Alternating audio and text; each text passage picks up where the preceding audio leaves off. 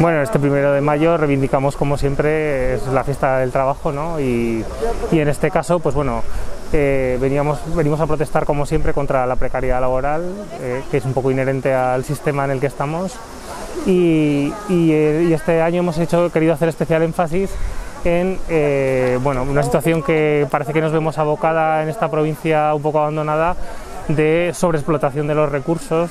Eh, pues por un lado está el tema de las eólicas, que, están planificadas y programadas de forma un poco eh, masiva, ¿no? entonces bueno, nos oponemos a, que esta forma tan desorganizada de, de, instalaciones eh, abarrote la provincia por las consecuencias que puede tener, porque se está demostrando que en los pueblos donde hay eólicas tampoco se está fijando población. Entonces, si al final vamos a ser la, eh, energética del resto de España para que otros sigan consumiendo y sigan gastando y sigan, pues no queremos que esto sea un cambio de modelo energético, sino más bien pues una transición a otros medios de energía, pero entonces, bueno, pues creemos que se tiene que hacer de una forma un poco más razonada y un poco más pensada, de forma que se integre mejor en el, en espacio.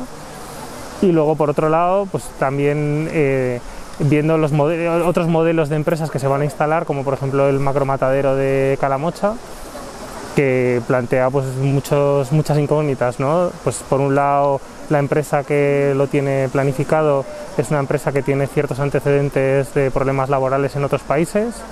Por otro lado se calcula que son 2.000 trabajadores de empleo directo el impacto que puede tener eso en la comarca del Giroca, la verdad es que no sé hasta qué punto se ha calculado, porque es un impacto demográfico muy potente.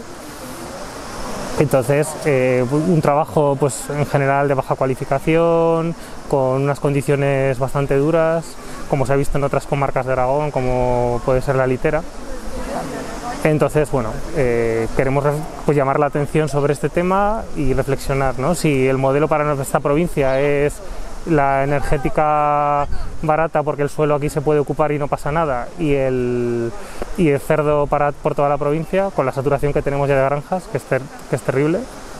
Pueblos de Teruel dentro de poco en muchos pueblos no se podrá ver agua del grifo. Entonces, bueno, pues hay que ver un poco las consecuencias que tiene esto y si, en realidad, y si esto es un modelo de desarrollo de la provincia o es un modelo de desarrollo para otros que destruirá la provincia.